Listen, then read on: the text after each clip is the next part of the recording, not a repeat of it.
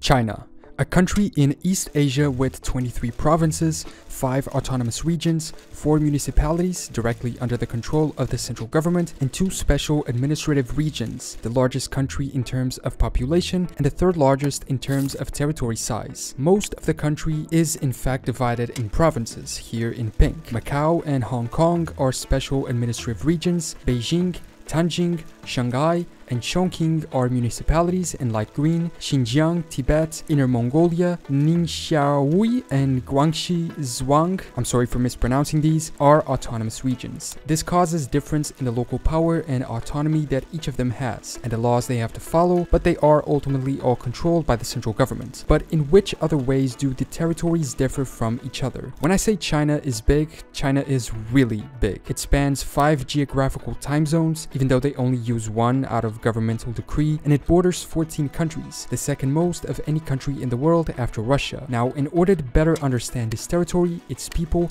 and the country, I think a good solution is by looking at maps. I recently did a video about US maps that you seem to really like, so I thought this could be interesting to do for other countries using data maps or just maps in general that allow us to learn about them. So in this video, China, the People's Republic of China. Starting with the ones on the thumbnail. First, religion. The map on the thumbnail is a little simplified, but it illustrates an important point. China has various religions within it, and they vary a lot depending on the territory. Chinese folk religion represents about 73% of the people, Buddhism is next with 15%, then Taoism at 7, Protestantism at 2, Islam at 0.5, and Catholicism at 0.3. Despite having very low values overall, these are sometimes more prevalent in specific regions and represent majorities in some of them. In this map, we can see it, the various areas in which each religion is the biggest. Overall, folk religion is the most followed, but in the northwest, there is, or at least was, a great prevalence of Islam. In Tibet, a great prevalence of Buddhism, and then in some small locations throughout the country, places where Catholicism, Protestantism,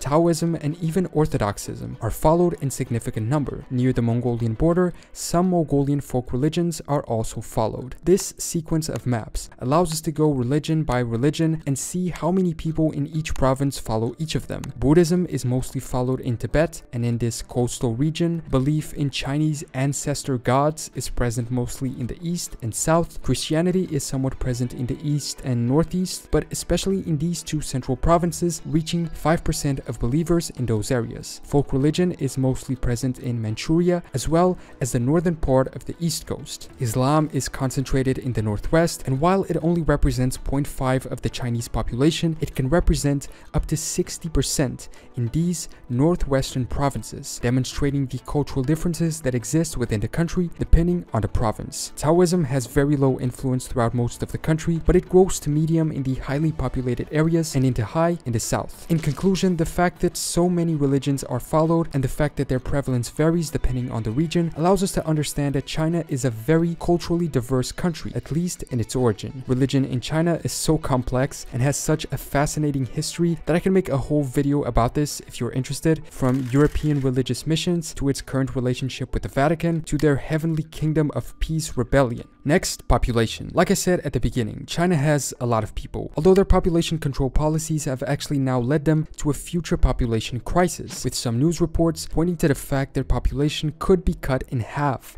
in the next 45 years. But today, there's still a lot, and their distribution along their territory is interesting. This map is very well known, and maybe you've seen it before. It's the Heihe Tengchong line, an imaginary line that divides the area of China into two roughly equal parts with contrasting population densities. In the east, on the coastal region, live 94% of the Chinese population, and in the west, in a territory roughly the same size, only 6%. The reasons why are fairly simple. Coastal cities have more economic development and therefore more job opportunities, which leads to a better quality of life. And then, the environment and ecosystems in the west are also less habitable. Mountains and deserts contrast with the plains of the east and the coast. Before we move on with the video, a quick message from today's sponsor, Blinkist. Blinkist is a long-term friend of the channel channel and honestly a product that I actually love and use. They didn't even give me a free account, I actually created and paid for one because I like their service so much. I like reading, but a lot of times I just don't have time to do it, and with Blinkist, I can. Blinkist takes thousands of non-fiction books and condenses their key points into 15 minute listening or reading sessions. Right now, and in line with the topic of this video, I'm reading this really cool book called China's Second Continent, which covers the mass wave of Chinese migration and Chinese investment in Africa and its economy. The first 100 people to go to blinkist.com slash general knowledge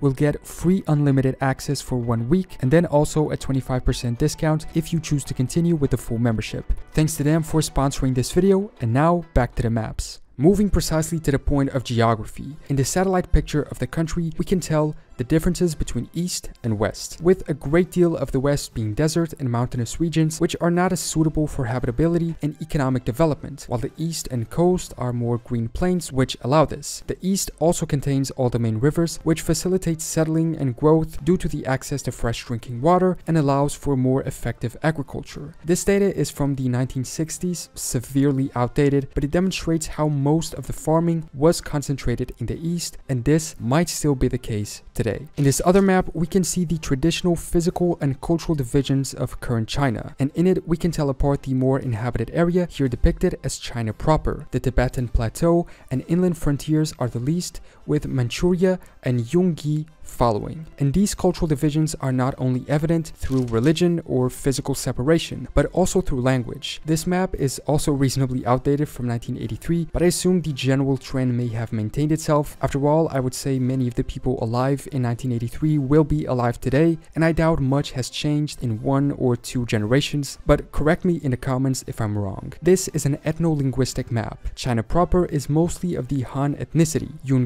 of the Ta, and the Tibetan Plateau represents the Tibeto-Burman people, while in the north and west are those of Mongolian and Turkish heritage, with also smaller groups of Miao Tajik, Korean, or Mon Khmer in some smaller regions throughout the country. This reminds us of the five peoples under one union concept, one of the major principles upon which the Republic of China was founded in 1911, using a five-striped colored flag to represent each of these peoples. They were, and in part still are, the major ethnic groups of the country, the Han, the Manchus, the Mongols, the Hui, and the Tibetans, showing us how these differences go way back in time and are embedded in the people and the territory. In this other map from 1990, which focuses on languages themselves, we can see that Mandarin is the most present language countrywide. Southern Mandarin follows, being spoken in the south and extending into the country of Taiwan, but we have to remember that within Mandarin there are a few variations as well. Tibetan in Tibet and Mongolian in the northern border regions, with other small idioms like Khamtai, Tajik, or Korean also being present. Earlier I talked about how the fact the main rivers are in the east provides an advantage for local agriculture. And speaking of food, here is a map that shows us the different types of food existent in China. If you live in Europe or in America, you probably think of Chinese food as a single thing, but Chinese food actually varies a lot. And some countries have one type of it as opposed to others, depending on which provinces their migrant communities come from. From the coast is where the most variety exists, but there's also completely different cuisines including Muslim, Mongolian, Northern, or Tibetan, more evidence of the diverse cultures that China holds within its borders. The concentration of economic activity in the coast and eastern territory is also evident in this map, displaying the amount of Fortune 500 companies located in each province. These are where the biggest companies in China have their headquarters, and as we can see, the vast, vast majority are located in these three coastal provinces, with only a small number in the southwest, northeast, and only two in the northwest. If these large companies are any example of how the main part of the Chinese economy is concentrated in these areas, and I think it is, we can easily understand why most people live there. It's where the jobs are. Speaking of the economy and money, here is how Chinese regions' GDPs compare to different countries around the world. This really makes us understand how powerful the Chinese economy is, and how each of the provinces compares to each other, with their total GDP surpassing that of 26 six other countries combined. And these aren't even small countries. We have Chinese provinces that alone equal the GDP of Korea, Canada, Russia, Australia, Turkey, Spain, Israel, Argentina, the Netherlands, or Malaysia. The lowest are able to equal Sri Lanka, Kenya, and Zambia. When it comes to the GDP per capita in each province, Shanghai, Beijing, and the autonomous area of Hong Kong have the highest, being above 20,000 a year. Next are those in light green, almost all on the east coast provinces, with the addition of Hubei and Chongqing, and the poorest province according to this is Gansu in the interior. But this is just a mathematical division of total GDP by the number of people that live there. It doesn't translate to effective income by each of them and does not directly translate into quality of life. Something that does, however, translate into quality of life is air quality. In this map, we can see the air quality in China, an issue that threatens Chinese residents a lot due to the intense industrialization of some areas of the country and the negative consequences that has in air pollution. And it becomes evident that air quality in China is not usually good, with the biggest concentration of hazy weather being in the east. And in this interactive live map, where the lower the number, the higher the air quality, we can compare China with Japan, for instance, and you can tell the amount of orange and red that China has compared to Japan's mostly green or yellow. Ever since the 20th century, this map is from 1967, that the main industrial areas have been concentrated in the east as well, so it's logical that these are the areas with the worst air quality. And finally, speaking of air, a map that divides China into its different climate zones, because it's not only the people and cultures that vary depending on the province, but also the physical and weather characteristics of them, as some regions are desert, others mountainous, and others plains. This is reflected in the type of climate that they have as well. The east is mostly dry winter subtropical, the northeast is warm summer continental, Tibet is a tundra, while the northwest is a cold desert. So, those are a few interesting maps that teach us about China, allowing us to better understand how it exists and functions as a country, how its territory is organized, how its people are distributed, how they are categorized, and how they live. And most importantly, how these territories differ from each other